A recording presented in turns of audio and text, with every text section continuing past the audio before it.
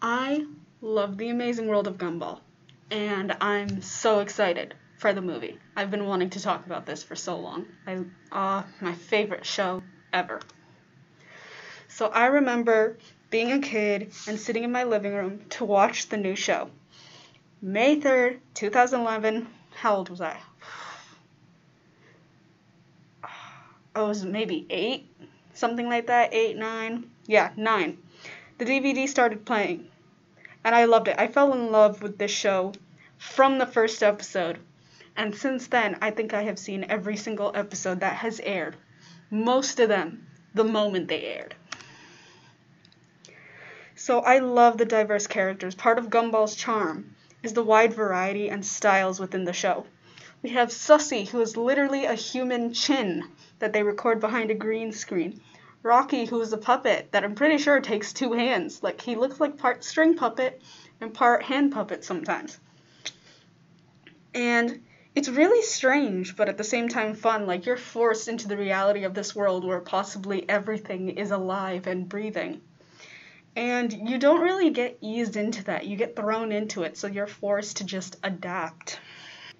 You want to see more and more styles. And I will say I really miss the real Banana Joe where they was where he was a real banana, but it's probably for the best cuz that was probably wasting a lot of bananas. I loved the scenes, episodes, lines. I loved everything that was poking fun of our world. Cuz when they brought Trump in, that was kind of funny. Uh when they brought in the news station, and insulting celebrities and ideals. They would bring up how the stock market is failing and crashing, how news stations don't report real news sometimes or have really long intros. Uh, they made fun of sports for a while sports, sports, sports. I also fondly remember the episode where Gumball and Darwin took over Larry's jobs for a few minutes and they realized we have to go to school and study hard so that we don't end up like you. And that was just pretty, that was pretty deep for me. The different styles. Do you remember the fan fictions episode? Where all of them, all the fan fictions that were probably real from the internet in all honesty, were taken and put into the show? You remember the creepy puppet episode? Because I do, I got nightmares from it. It was cool, but it was creepy or the show that finally showed an anime style that the fans had wanted for years. All of the fan made Amazing World of Gumball as an anime things were finally real because they made an anime version. I just love the variety because there is no consistency. Aside from the general style they always use, there's always going to be something new or interesting. My favorite episode is the tape. I rewatched it for hours and I couldn't get enough of it. Love that episode. Comedy masterpiece should be loved by everyone. The songs are either really high quality or relatable. Sometimes they're nonsense, and that's really their charm.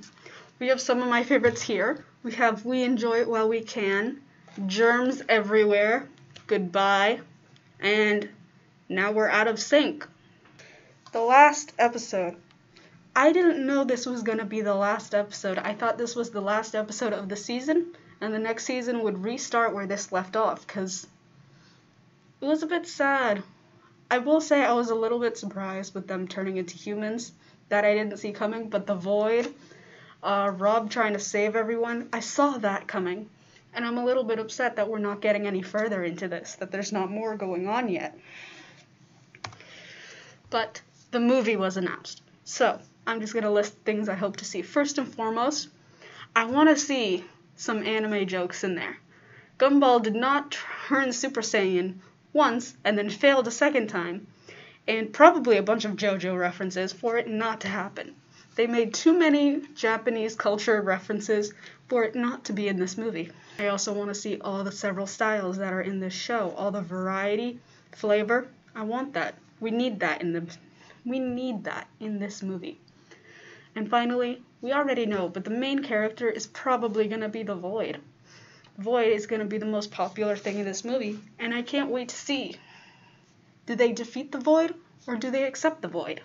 Like, I want to know.